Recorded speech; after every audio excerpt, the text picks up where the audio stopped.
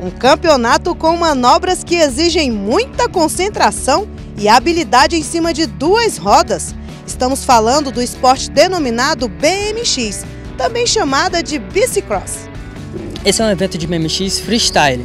Temos também o BMX Racing, que é o de tempo, e menos tempo para completar a prova. Esse é o freestyle, é um estilo livre, em que o atleta ele pode usar dos obstáculos presentes na pista para estar tá executando suas manobras.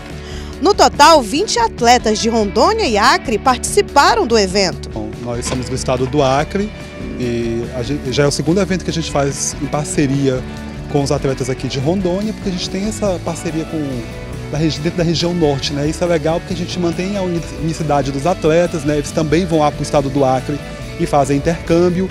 E isso é muito bacana. E isso dinamiza os dois estados, né? A sempre estarem competindo de forma sadia e divertida, que é o que a gente quer.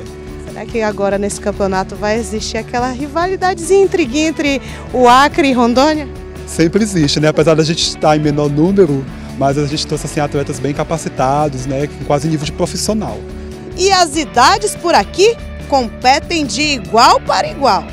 Aqui não está dividido em categoria, vai todos contra todos assim, mas se fosse separado em categoria, eu seria ou iniciante ou juvenil.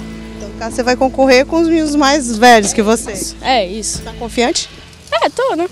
Com certeza, a volta aí dos campeonatos, aí das brincadeiras, da jardinzinha, serve para incentivar os atletas. E esse campeonato hoje, você está confiante? Estamos, né? Estamos aí para toda hora. Você é muito confiante não, o Luan tá mais seguro que você. Não, sim, mas estamos confiantes sim, o negócio é manter a calma e, e é isso aí.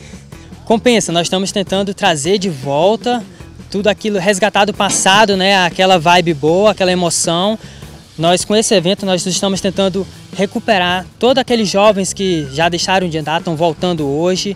E compensa sim, compensa, realmente compensa, porque é aquilo que nós amamos, né, de verdade, está fazendo. Uns por hobby, outros por esporte, outros querendo ser por profissão, mas compensa sim.